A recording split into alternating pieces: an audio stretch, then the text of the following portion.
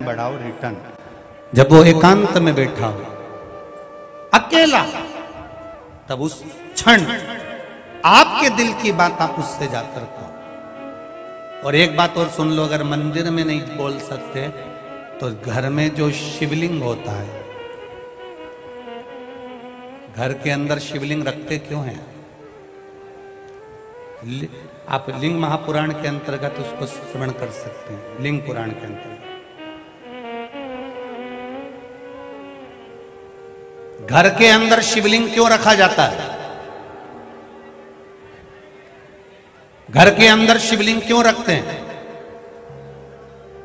और कितनी सुंदर बात हमारी शिव महापुराण की कथा कहती है, लिंग पुराण की कथा कहती है, स्कंद पुराण की कथा कहती है, कुर्म पुराण कहती है, पद्म पुराण कहती है, और ब्रह्म विवर्त पुराण कहती है।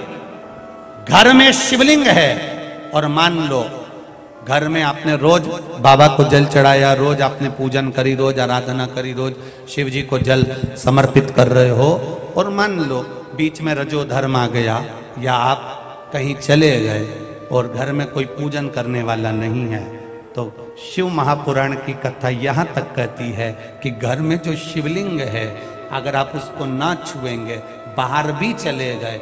रखा हुआ है, किसी ने जल भी नहीं चढ़ाया, किसी ने पुष्प भी नहीं चढ़ाया, किसी ने कोई चावल का दाना भी नहीं चढ़ाया।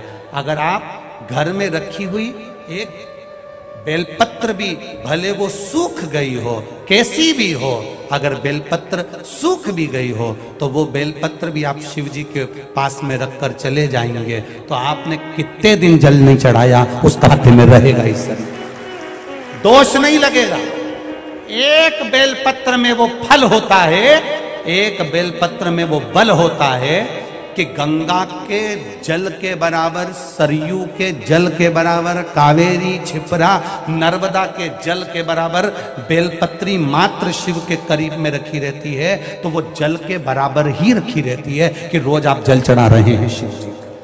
घर के लोगों से इतना तो कह सकते हो कि मुझे हाथ नहीं लगाना, मेरे को बाहर जाना है, तुम एक काम करो, ये बेलपत्री शिव जी के पास रख दो। मैंने यहाँ रखी है। मैंने यहाँ पर रखी है। ये बेलपत्र आप शंकर जी के पास में रख दो। इतना तो कह सकते हो, इतना तो भगवान का वर्णन कर सकते हो। ये रख दो शिव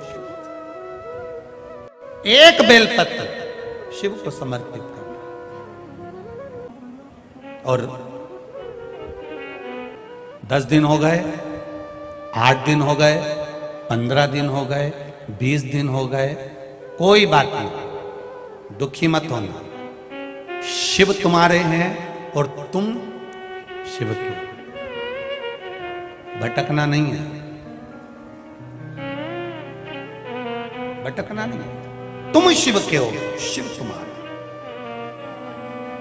हाँ ये ज़रूर है। घर से जब जाओ तो शिवलिंग तुम्हारे घर में जो पारत का, नर्मदा का, कंकर, शंकर जो रखा हुआ है, जो शिवलिंग है, उसको कह कर जाना बाबा।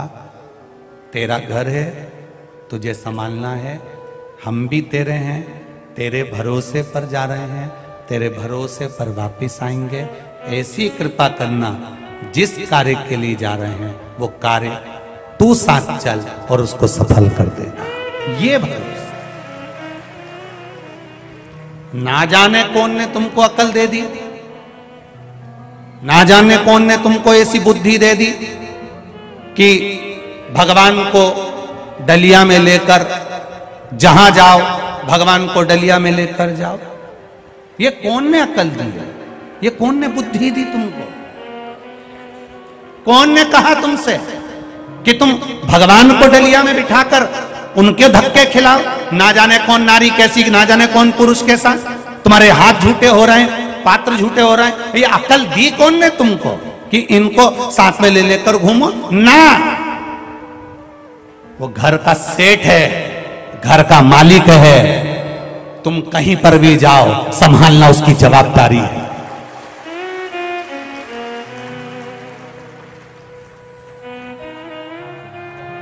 संभालना उसकी जवाबदारी है। शिवलिंग है, घर में रखो। आप अगर घर से बाहर जा रहे हो, कहीं जा भी रहे हो तो तुम्हारे घर में लड्डू गोपाल हैं, ठाकुर जी हैं। विराज रहे, उनके लिए डब्बी में मिश्री रख कर आओ। जैसे तुम कहीं जाती हो तो बच्चों के लिए कुछ रख कर आती हो। यहाँ आई हो तो रोटी बनाकर आई हो। पति के लिए टिफ़िन लगा कर हो बच्चों का टिफ़िन लगा कर हो कोई बच्चा वापस आएगा स्कूल से तो क्या खाएगा, उसके लिए डब्बे में रख के आई हो तो उसी तरह घर के ठाकुर जी के लिए रख कर जाओ। मिश्री डब्बी में भर कर रखो, सामग्री रखो, थोड़ा झारी जी भर दो, जल भर दो, जल रख दो उनके पास में कि मैं लेट हो जाऊँ तो तुम पाले, विश्वास जगाना है। ढोंग नहीं, प्रपंच नहीं, छल नहीं दिल से भाव जागृत करिए। हमारे भीतर से भाव जागृत होगा। तो भगवान तो भगवान मिलेगा चौबीस घंटे